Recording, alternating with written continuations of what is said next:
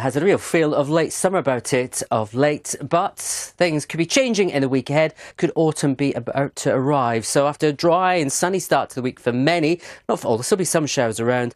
We could be ending the week for some seeing gales and a big drop in temperature. And it all come courtesy of a uh, strengthening jet stream to the north of the Atlantic. And it's in this dip in the jet stream between us and Iceland we'll see a potent air of low pressure push its way eastwards pushing in some bands of weakening rain, but also some strengthening winds and a drop in temperature for many areas. That's a few days away. Out there to end today. Fine day for most.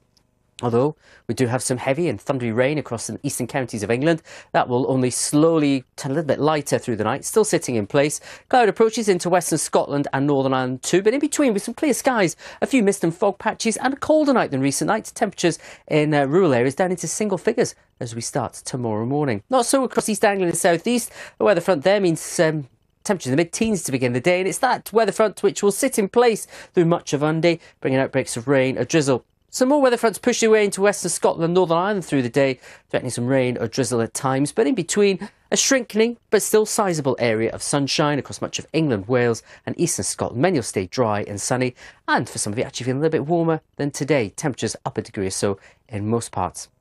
Then through Monday night, uh, weather front is on the move. It's just a zone of cloud, patchy light rain or drizzle. Here it is on the weather chart, pushing its way into an area of high pressure. High pressure basically kills off weather systems by and large. It'll just be a zone of cloud, misty low cloud, the odd spot of light rain or drizzle through Wales and Midlands to begin with on Tuesday. Either side of it, some sunshine. Many will stick dry with some sunny spells through the day. But once again, that's western Scotland, Northern Ireland. A fairly weak weather front to push its way in, producing some rain or drizzle in the west. Most of though dry and still pleasantly warm where you've got that sunshine.